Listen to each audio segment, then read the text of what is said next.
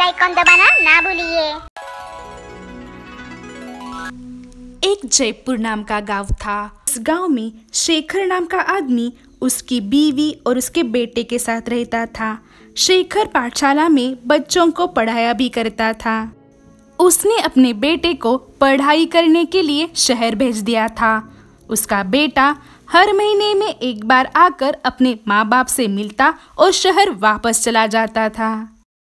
और ऐसे ही कुछ साल बीत जाते हैं। अब शेखर बूढ़ा हो चुका था और उसकी पत्नी भी गुजर गई थी। इसीलिए शेखर गाँव में अकेला ही रहता था।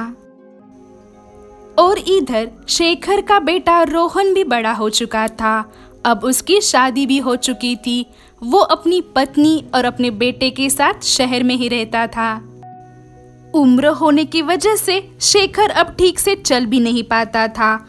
इसी वजह से वो कभी कभी लड़खड़ाते गिर भी जाता था। शेखर का एक दोस्त भी था। हर दिन वो शेखर से मिलने बगीचे में ज़रूर आता था। तब वे दोनों ढेर सारी बातें करते थे। इसे ही एक दिन जब शेखर बगीचे में नहीं आता, तब उसका दोस्त शेखर को मिलने उसके घर चला जाता है। शेखर, आज तुम बगीचे में मिलने नहीं आए। तुम्हारी तबीयत तो ठीक है? क्या बताऊँ तुम्हें? उम्र होने की वजह से अब मुझे ठीक से चलना भी नहीं आता और मेरे हाथ भी कांपने लगे हैं। तुमने इसके बारे में अपने बेटे और बहू से बात की है क्या? हाँ दोस्त, मैंने अपने बेटे से इसके बारे में बात की है। मेरा बेटा मुझे शहर उनके पास रहने के लिए बुला रहा है। सही तो है, इतने साल तुम गाँव में रहे, अब शहर जाकर कुछ पल अपने बेटे, बहू और पोते के साथ बिताना। तुम सही कह रहे हो दोस्त, मैं कल ही शहर जाने के लिए निकलता हूँ। अगले ही दिन शेखर शहर चला जाता है और अपने बहू बेटे के घर पहुँच जाता है। पिताजी को अपने घर देख के उसका बेटा बहू और पोता बहुत खुश होते हैं। पिताजी आपने अच्छा किया। आप यहाँ आ गए हमारे साथ रहने। अब आप यही रहेंगे। हाँ बेटा अब मैं यही रहूँगा। ये सुनकर सभी बहुत खुश हो जाते हैं। दादाजी हमारे साथ रहेंगे ना? अब बहुत मज़ा आएगा। हाँ बेटा अब से तुम्हारे दादाजी यही रहेंगे। और हम सबको काफ़ी मज़ा आएगा। शेखर शहर में नया था तो उसका परिवार उसे बाहर घुमाने ले जाता था। जैसे कि वो कभी अपने बहू के साथ कपड़े खरीदने मॉल चला जाता अपने बेटे के साथ खाना खाने रेस्टोरेंट चला जाता तो कभी कभी अपने पोते के साथ खेलने वो पार्क चला जाता था। ऐसे ही कुछ दिन चले जाते हैं। बहू अरे बहू इधर तो आना। ससुर जी आपको कुछ चाहिए? हाँ बहू मेरे लिए एक कप चाय बना के ला सकती हो? हाँ लाती हूँ। शेखर की बहू उसको चाय बना के दे देती है। बहू? अरे बहू तुमने आज का न्यूज़पेपर कहीं पे देखा है क्या? जरा मुझे ढूंढ के दे दोगी? शेखर की बहू उसको न्यूज़पेपर ढूंढ के दे देती है। ऐसे ही हर रोज शेखर बहू से कुछ ना कुछ माँगता रहता था और इसकी वजह से बहू बहुत गुस्सा हो जाती थी। जब सब खाना खाने बैठते थे, तब हाथ कांपने की वजह से शेखर से खाना नीचे गिर जाता था और बहू को बाद में वो साफ़ करना पड़ता था।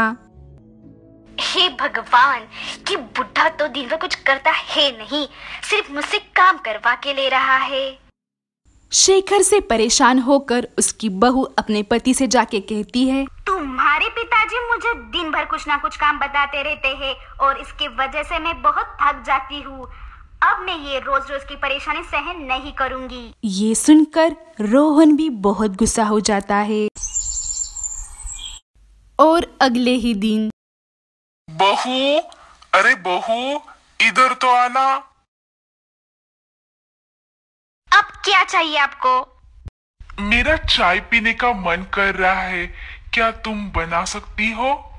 सुरजी आप दिन में चार बार चाय पीते हो और इसी वजह से घर में दूध ही नहीं बच रहा है। आज से मैं आपको सिर्फ़ एक ही बार चाय बना के दूँगी। ठीक है बेटा। मुझे चाय नहीं चाहिए। बहू तुमने टीवी का रिमोट देखा? मुझे यहाँ पे मिल नहीं रहा। आप दिन भर टीवी देखते रहते हैं। इसी वजह से चिंटू की पढ़ाई भी नहीं हो पाती और इसीलिए मैंने ही रिमोट को छुपा के रखा है। अब शेखर समझ जाता है बहू को उसका यहाँ रहना उसे पसंद नहीं है। वो अपने बेटे रोहन की आने की राह देखता है। रोहन ऑफ़िस से आ जाने के बाद बेटा मुझे लगता है बहू को मेरा यहाँ रहना पसंद नहीं आ रहा। पिछले कई दिनों से वो मुझसे ढंग से बात भी नहीं कर रही। पिताजी कैसे वो आपसे ढंग से बात करेगी? आप दिन भर उसे कुछ ना कुछ काम बताते रहते हो इसकी वजह से वो थक जाती है। इसीलिए पिताजी मैंने तय किया है मैं आपको वृद्धाश्रम में भेज दूँगा। वहाँ आपकी अच्छे से देखभाल हो जाएगी और हम आपसे मिलने हफ़्ते में एक बार आते रहेंगे। बेटा मुझे वृद्धाश्रम भेजने की तुम्हें ज़रूरत नहीं है। मैं वापस अपने गाँव चला जाऊँगा।